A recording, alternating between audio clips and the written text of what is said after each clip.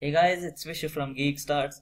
So in the last tutorial that I made, there was a problem and I don't know how I messed up my security groups but every time I create an instance, I'm not able to connect to the internet and I'm going to show you how to fix that. So let me bring up my putty session and new machine that I just created minutes ago. Open this and if I do a yum update, sudo yum update minus y would give me this uh, error saying that it cannot find a valid base URL.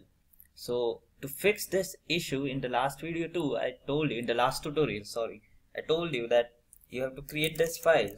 Uh, let me do it via sudo sudo vim etc resolv.conf which won't be there but this is where your uh, EC2 instance or your Linux kernel looks for DNS settings and you can see it's a new file so I just created it. So I'm going to press I and I'm going to type name server and I'm going to give the 8.8.8.8 which is the Google's name server.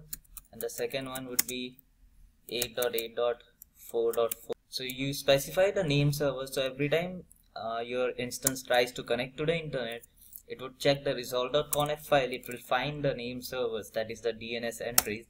And then when you do a sudo yum update minus y it would start working. Uh, I will actually look into this later on but this is like a quick fix if you are facing that problem. So that's it for this video. Like I'm going to link this to the video where I talked about this. Thank you for watching guys